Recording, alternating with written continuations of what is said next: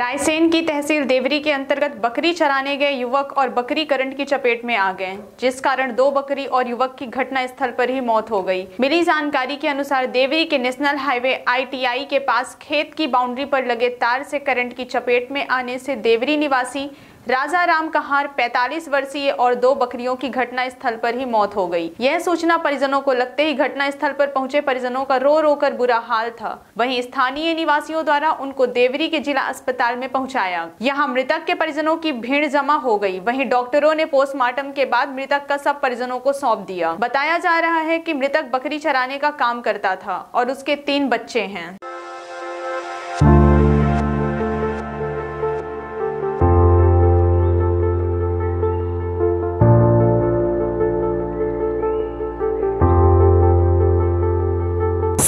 युक्त national hospital समान तिराहा, रीवा में।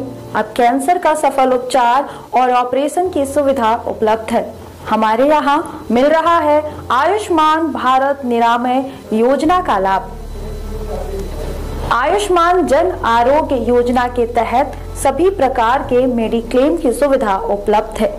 हमारे यहाँ लेजर कैंसर अस्थि रोग एंडोस्कोपी, लेप्रोस्कोपी एवं प्रसूति रोग का अनुभवी चिकित्सकों के द्वारा उपचार किया जाता है। कैंसर के इलाज एवं ऑपरेशन अब रीवा के नेशनल अस्पताल में उपलब्ध है।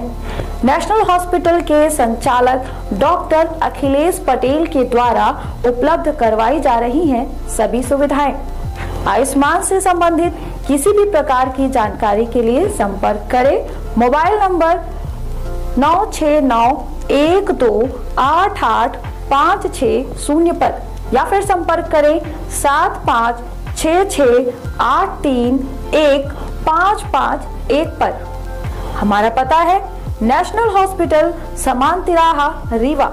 संपर्क करें शून्य सात छ छ दो तीन पाँच नौ नौ सात चार पर।